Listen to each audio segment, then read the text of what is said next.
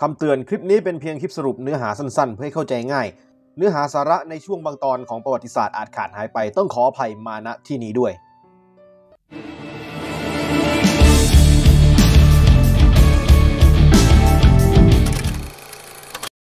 ติศาสตร์สมัยอาณาจักรสุขโขทัยก็ต้องเท้าความไปตั้งแต่อาณาจักรสุขโขทัยในช่วงสถาปนาในช่วงเริ่มแรก ก็ต้องย้อนกลับไปตั้งแต่สุขโขทัยในอดีต จากหลักฐานศิลาจารึกดับที่สองที่พบอยู่ในอุโมงค์วัดศรีชุม ทางทิศตะวันตกเฉียงเหนือนอกเมืองสุขโขทัยได้ให้เรื่องราวเกี่ยวกับสุขโขทัยในระยะต้นไว้ว่า เมื่อพ่อขุนศรีนาวนำถม เจ้าเมืองสุขโขทัยสิ้นพระชนลง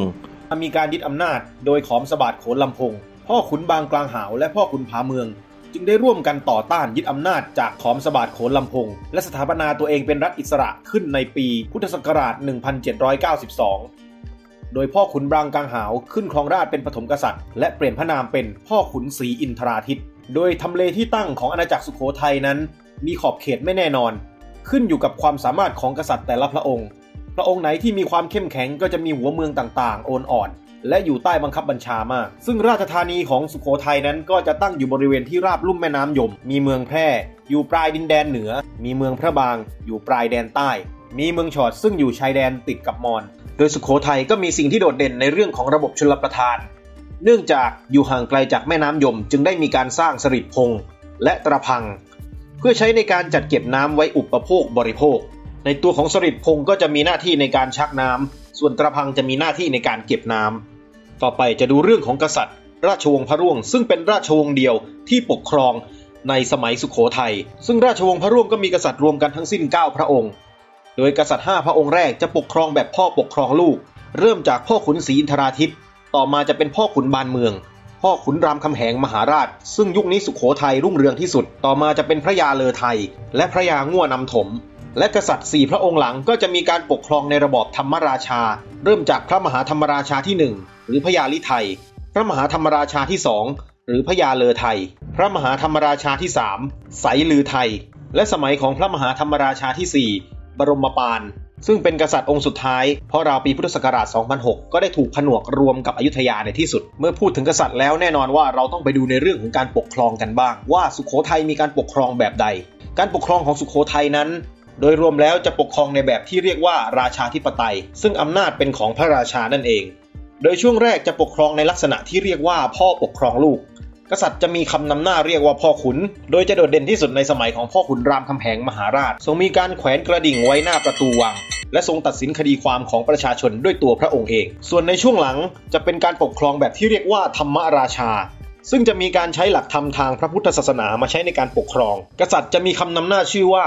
พระมหาธรรมราชา ซึ่งเริ่มมีการปกครองแบบนี้ตั้งแต่สมัยพญาลิไทยหรือพระมหาธรรมราชาที่ 1 โดยท่านนั้นก็มีผลงานโดดเด่น โดยทรงพระราชนิพนธ์วรรณกรรมเรื่องไตรภูมิพระล่วงหรือไตรภูมิมิกถา ซึ่งไตรภูมิพระล่วงนี้เองก็ถือได้ว่าเป็นวรรณกรรมเล่มแรกทางพุทธศาสนา ที่ว่าด้วยนรกสวรรค์และการเวียนว่ายตายเกิด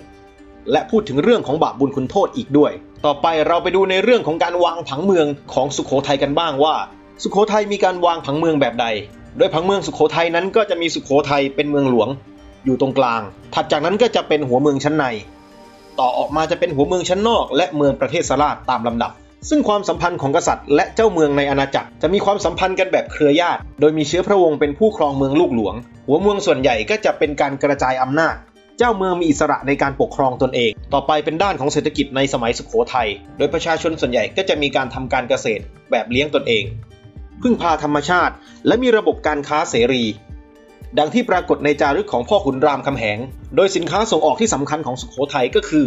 เครื่องถ้วยชามสังคโลก ซึ่งจะมีเตาที่ใช้เผาเรียกว่าเตาทุเรียน และมีตลาดค้าขายที่ชื่อว่าตลาดสปาน ต่อไปเป็นเรื่องการต่างประเทศในสมัยสุขโขทัยมาดูกันว่าเป็นอย่างไรบ้าง โดยการต่างประเทศของสุขโขทัยนั้น โดยเริ่มที่ความสัมพันธ์กับอาณาจักรล้านนา โดยเริ่มต้นจะเป็นการ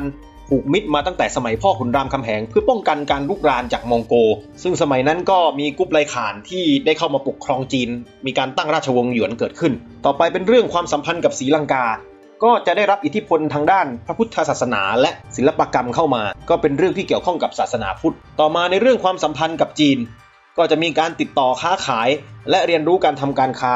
โดยจะมีเรื่องการเดินทะเล การทำเครื่องสังคโลก และในสมัยราชวงศ์หยวนนั้นก็จะมีการส่งเครื่องบรรณาการไปที่จีนเพื่อลดปัญหาสงคราม ในด้านของศาสนาศิลปะวัฒนธรรมของสมัยอาณาจักรสุขโขทัยนั้นเป็นอย่างไรเดี๋ยวเรามาดูกัน โดยศาสนาในสมัยสุขโขทัยก็จะมีความเชื่อเรื่องวิญญาณไสยศาสตร์ มีความเชื่อเรื่องศาสนาพราหมณ์ฮินดู และมีพระพุทธศาสนานิกายเถรวาทแบบลังกาวงเข้ามา ในช่วงสมัยของพ่อขุนรามคำแหงมหาราช โดยศิลปะสมัยสุขโขทัย ก็จะมีตัวอย่างอย่างเช่น พระพุทธรูปก็จะเน้นในเรื่องของความอ่อนช้อยและงดงาม ปางเด่นๆ ก็อย่างเช่น ปางลีลา เจดีจะเป็นทรงพุ่มข้าวบิน จะมีลักษณะเป็นทรงของดอกบัวตูม และเจดีที่เป็นทรงระฆังคว่ำจะได้รับอิทธิพลมาจากศรีลังกา หรือในแบบที่เรียกว่าเป็นทรงลังกานั่นเอง ต่อมาเป็นเรื่องของการประดิษฐ์ตัวอักษรไทย หรือที่เรียกว่าลายสือไทย เป็นการประดิษฐ์ขึ้นในสมัยพ่อขุนรามคำแหงมหาราช เมื่อปีพุทธศักราช 1826 ซึ่งเราจะเห็นหลักฐานได้จากหลักศิลาจารึกของไทยนั่นเอง เมื่อมีเกิดขึ้นตั้งอยู่ก็ต้องมีดับไป เราจะมาดูสาเหตุการเสื่อมอำนาจของสุโขทัยกันว่าเกิดอะไรขึ้นมาบ้าง โดยปัจจัยแรกเลยคือ ผู้นำไม่เข้มแข็ง ไม่สามารถต้านทานความแข็งแกร่งของอาณาจักรอยุธยาได้ 2. เกิดการแย่งชิงอำนาจกันในหมู่ราชวงศ์ 3. การถูกตัดเส้นทางการค้า เพราะอายุธยานั้นมีการค้าที่สะดวกกว่า โดยกษัตริย์องค์สุดท้ายของสุโขทัยนั้นก็คือพระมหาธรรมราชาที่ 4 หรือบรมปาน ผู้ปกครองในฐานะรัฐอิสระองค์สุดท้าย ซึ่งสุโขทัยนั้นถูกรวมเข้ากับอยุธยาราวปีพุทธศักราช